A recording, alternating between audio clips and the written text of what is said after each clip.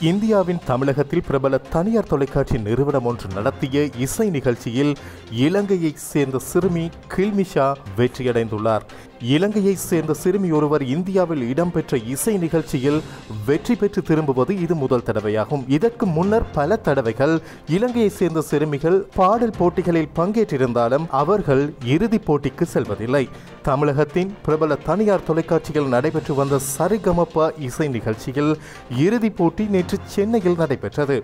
குறித்த நிகழ்ச்சியில் இலங்கையிலிருந்து மலையகத்தை பிரதிநிதித்துவப்படுத்தும் அஷானியும் யாழ்ப்பாணத்தை பிரதிநிதித்துவப்படுத்தும் கில்மிஷாவும் கலந்து கொண்டிருந்தனர். இவர்களில் கில்மிஷா இறுதிப் போட்டிக்கு தெரிவாகி இருந்த நிலையில் அஷானி இறுதி தருணத்தில் போட்டியிலிருந்து வெளியேறினார். இந்த நிலையில் முதலாம் இடத்தை பிடித்த கில்மிஷாவுக்கு பத்து லட்சம் ரூபாய் பரிசு தொகை வழங்கப்பட்டுள்ளது. அத்துடன் கில்மிஷாவுக்கு பல்வேறு பிரபலங்களும் தமது வாழ்த்துக்களை தெரிவித்து வருகின்றனர்.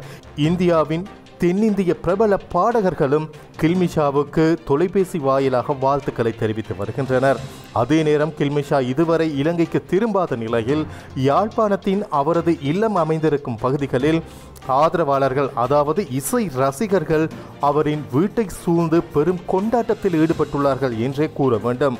நேற்றைய தினம் இரவிரவாக அவரின் வீட்டிற்கு முன்பாக குடில்கள் அமைக்கப்பட்டு அனைவரும் அவர் பாடிய பாடல்களுக்கு நடனமாடி அவருக்கு மேலும் பெருமை சேர்த்துள்ளனர்.